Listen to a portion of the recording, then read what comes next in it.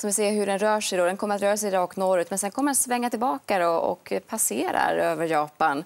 Och den här går lite långsammare än den som vi hade för knappt en vecka sedan. Då var det ju en som hette Fanfon som mm. betyder djur, faktiskt, mm. från Laos. Det var den Vi vill inte veta vad alla Nej, men Många tycker att det, är konst, att, det, att det är många konstiga namn, men de har ett system. De namnger efter växter, djur och matvaror. faktiskt.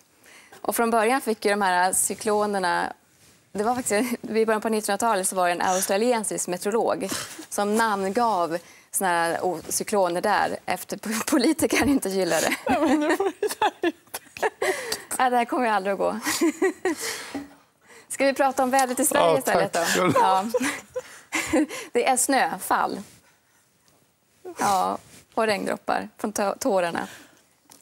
Det snöar som bara den och det kan komma faktiskt upp till ett par decimeter med nysnö. Så har man inte på vinterdäcken idag så ska man inte ut och åka i Västerbotten och Norrbotten. Nej, nu får du skärpa dig, Jenny. Mm. och ja, det är bra. Men sen är det i alla fall, det är milt också i söder. Vi ligger bra mycket över vad som är normalt medan det är kallt i norr. Så det är väldiga kontraster.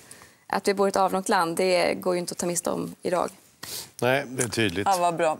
Tack så mm. mycket för den prognosen. Ulrika ber om ursäkt. Ja, vi är helt värdelösa på tyfoner. Det är helt hopplöst. Ja, tur att vi inte ska prata om tyfoner i, i framtiden. Vad ska vi göra då? då? Eh, vi ska däremot eh, prata om mojisar, små ja. smileys okay. som skrattar. Ja, det blir enklare. Ja. Titta på oss då. Vi ber om ursäkt för att vi finns. Hej då.